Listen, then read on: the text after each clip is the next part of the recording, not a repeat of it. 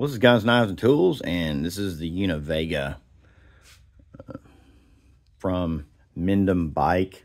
You can use the code from Kev Central, get 5% off.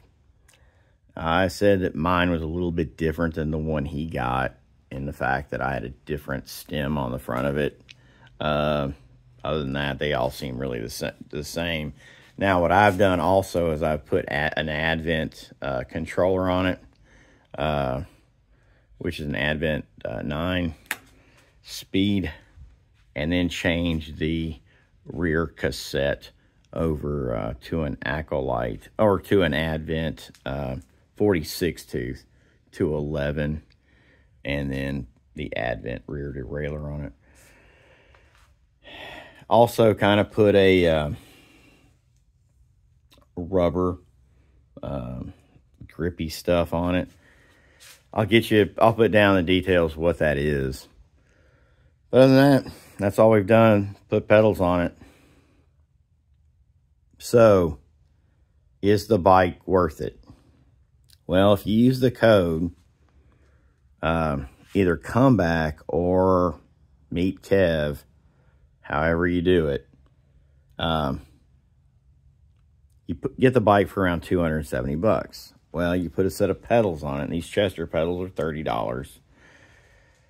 Then, if you're to buy a rear cassette, because the rear cassette that came on this bike was a 36, now we have a 46 on it, and an Advent rear derailleur, which will take uh, the 46. Uh, they're rated for each other.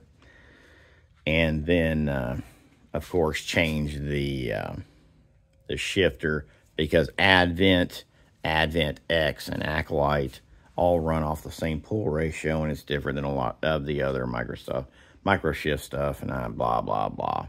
Anyway, so this bike's about ready to go out. Uh, if you buy all these pieces, it's going to cost you around four hundred and thirty dollars, as is, uh, I guess without the water bottle cage. So is it worth it? It's a really good bike. I will tell you one thing about the handling of this bike. It has an extremely long chainstay. The other bikes that Mendham has uh, that have the actual curved seat tube do not have anything close to as long of a chainstay. And you can tell that because hell, I got a big hand and I can put my hand uh, between uh, the actual tire and it's a 29 inch tire in the frame. And you can't do it on the other ones.